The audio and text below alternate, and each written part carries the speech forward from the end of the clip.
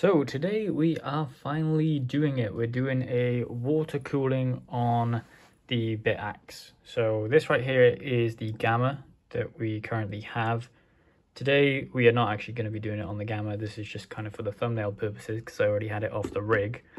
We're going to be doing it for the Supra as kind of a proof of concept and then we'll move it over to the Gamma if it works basically. So you're looking at a bunch of things and we have a bunch of things here that are going to be kind of useful for us actually putting on the water block and stuff like this. I just want to mention that you can get all of these. They'll be linked in the description.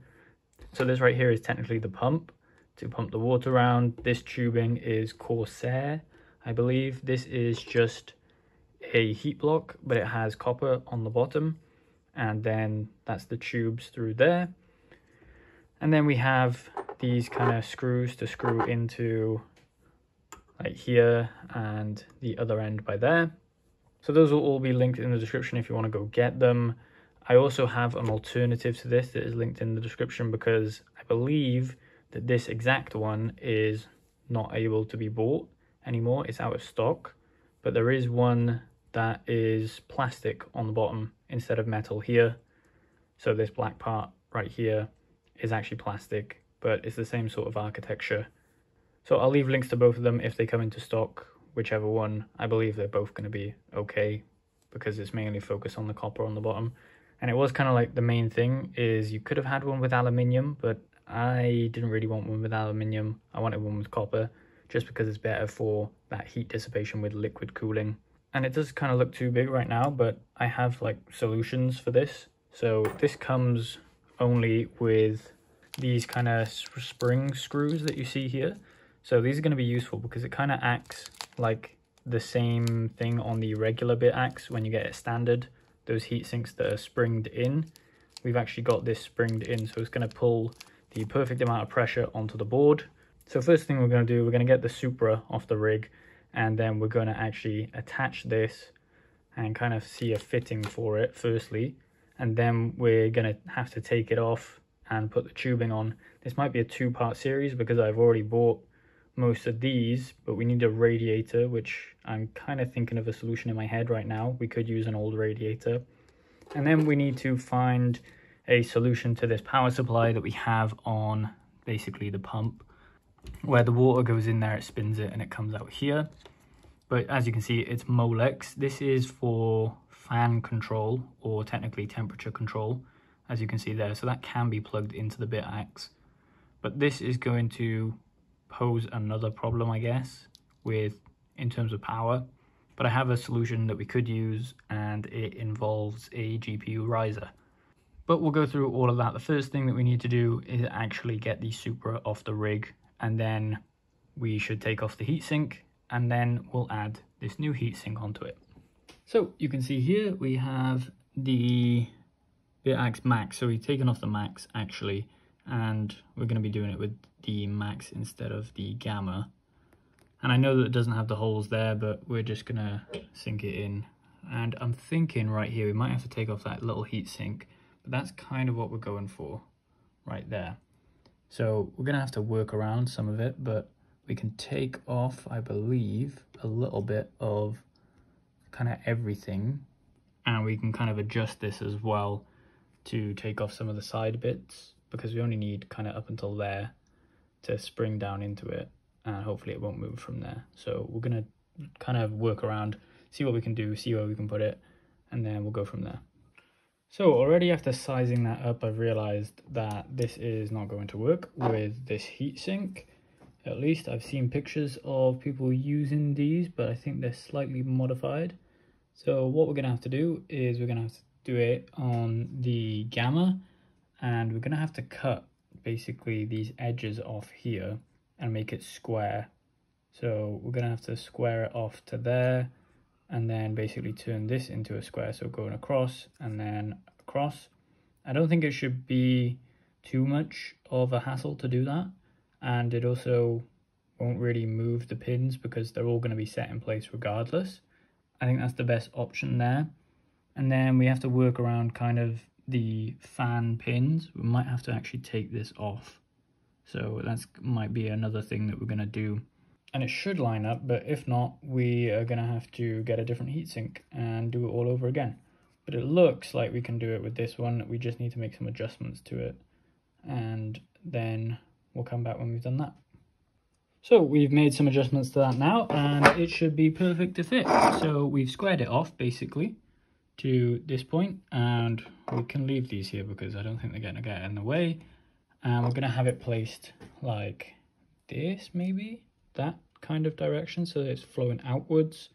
Or we could do it the other direction, it really just depends on where we want to mount it. But let's take off the heatsink and then let's actually get this attached. So we've taken off the heatsink there and we have also taken off this heatsink that was placed there. So you can see here, we have two options. We have either we place it through here and we get rid of this side, or we can place it the other direction, for example, this direction, and we don't have to remove anything, I don't think, if we do it that way. So we're actually going to put some thermal paste on. We're going to decide which side we want to go with. And then we'll show you it fully attached. And then we can get on to actually doing the tubing on it as well. So after quite a while and doing some kind of R&D on the uh, fittings or placings, we have actually come up with this idea. So we've taken this black thing off because it was sitting kind of at this level between the copper and the acrylic. So we've taken it off and we've actually angled it so it's going to go and place like this. The reason for that is because the fan pins, we don't want to desolder them off because the actual pump has fan control on it. So it can actually control the temperature through the pins. And that's what we really wanted because otherwise we don't really know how to cool it or necessarily how much RPM the pump should flow through. So we kind of needed the fan pins to be open there. So we have this right here and you can see that we've actually shaved off this part of the acrylic just down to that screw so we can actually get around the fan pins at that angle right there. Now there was a mounting solution where we would put this underneath because originally it was underneath but now I'm thinking that we actually put it across the top and we just hold it through the three that we have there. So one down there, and then one down there, and then one down there. Obviously this one through this pin is not going to hold it in place, but we don't really have much solutions for that currently at the moment. But I think three should be enough to hold it in place. If not, there is an option to drill right where the hole is, and it lines up perfectly because it's obviously 40 millimeters on this line. So you can actually drill a hole right there on the corner and it will fit another screw through. So that might be an option as well. I know there's a lot of kind of mistakes that we've made along the way already that we can kind of remedy. But this is not really a solution that's kind of plug and play anymore. It's more of a mess around and find out if you can do it. So you can see here, this is our pump that we're using and we have the fan control there. And our way of powering it is through this Molex connector. I believe that this is Molex. So this is just power and I think it's 12 volts.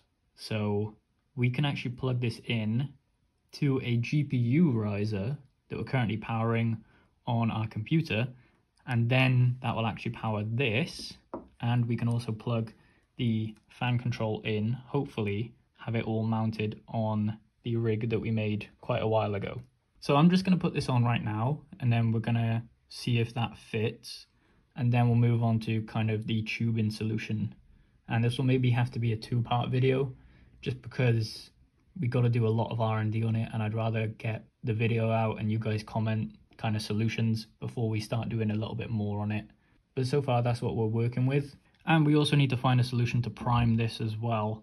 I've never done any kind of water cooling myself. So the priming part on this, I've already kind of tested it, but I still don't know how to prime it fully. It might be an easy solution, so let me know in the comments. But let's get this fitted on here and let's see how it looks on the BitAxe.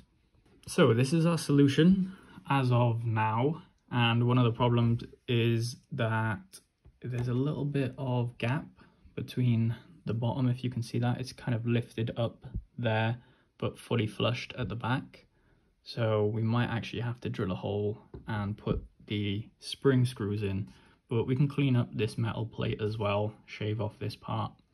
But you can see how it's holding it in place if we just lift that up. That's mainly what we're going for. And you can still fit the fans into there. It's going to be a very tight fit, but I think that that's going to be our solution for the moment.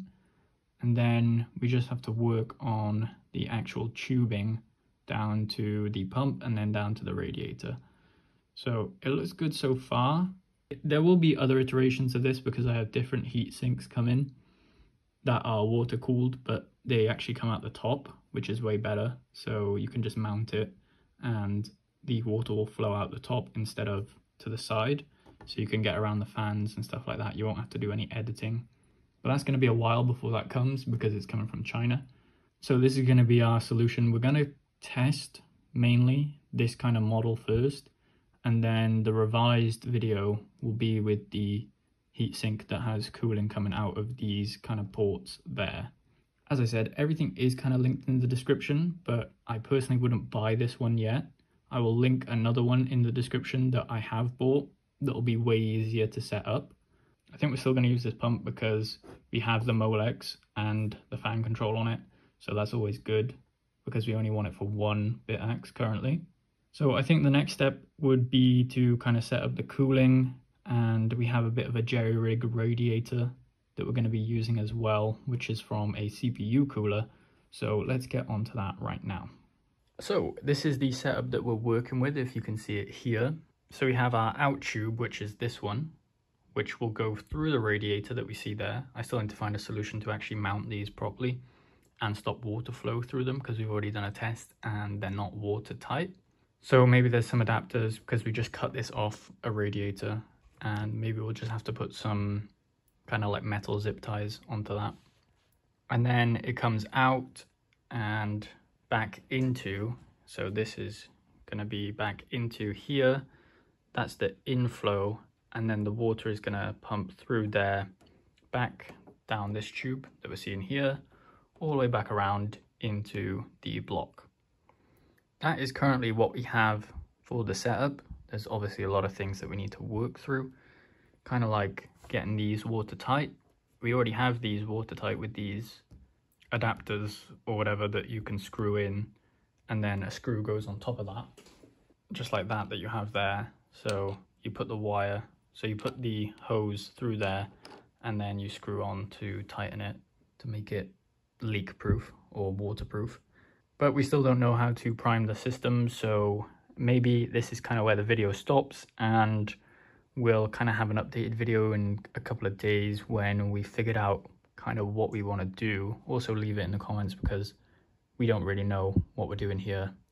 And then we actually have to find out a power solution for this as well and make sure that everything kind of fits and doesn't fall over. So there will be a fan on this as well at the end. So a big fan there to cool it and then it comes back down to here and cools into there based on the temperature of the chip with this four pin power control but it only has fan control right there. So as I said let me know in the comments there is links in the description if you want to go get these but I personally wouldn't recommend this one yet. As I said I've left a different one in the description if you want to go and get that one that I've currently ordered, but it does take a long time to get here. So currently we're just using this one at the moment. So make sure you like the video and subscribe for more content like this.